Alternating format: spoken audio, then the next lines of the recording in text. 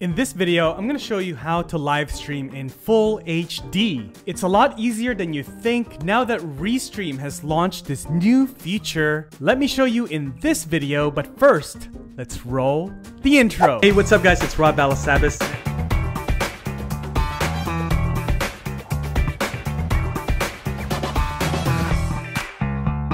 I've done lots of live streams at this point, probably hundreds of live streams on Facebook Live, YouTube Live, LinkedIn Live, on Twitter, slash Periscope Live. And the highest resolution that I've been able to live stream into is 720p. But now that Restream has launched this awesome, awesome feature, I'm so excited about it. I can now live stream in full HD. It'll be a lot easier for me to show you how to do this if I just jump into my screen. So Let's go. All right, so the first thing is you'll need to head over to Restream's website and set up an account if you don't have one yet. There is a link down below that I've linked over to Restream that'll take you there so that you can get started with a free Restream account. Now, to get the HD video feature, you will need the professional plan inside of Restream. So you can go ahead and upgrade to that, and that'll allow you to use this HD live streaming feature.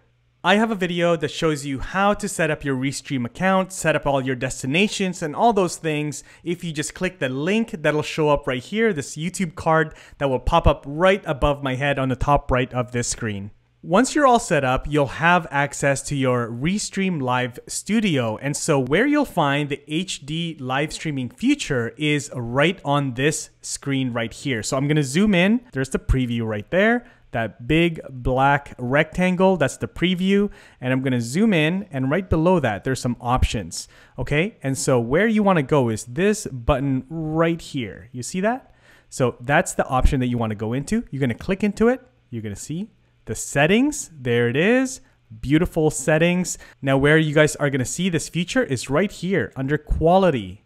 So this used to not be here before, but now it's there. So now I can actually click in and I can choose full HD 1920 by 1080 at 30 frames per second. There it is right there. Super easy, super accessible. Again, on Restream Live Studios professional plan.